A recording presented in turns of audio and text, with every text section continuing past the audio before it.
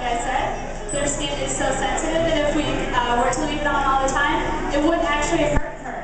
And because it is part of her physical therapy, because we want her to trust us and trust that we're not going to do anything that's going to cause her any pain, we're only going to put it on a couple times a, a day. That way, it doesn't hurt her. We can continue to use it to help her with all of her physical therapy.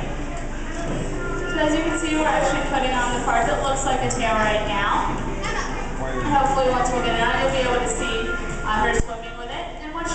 We can ask her to swim in that nice up and down motion. And what we'll do sometimes is we'll actually get underwater and we'll watch just to make sure that she's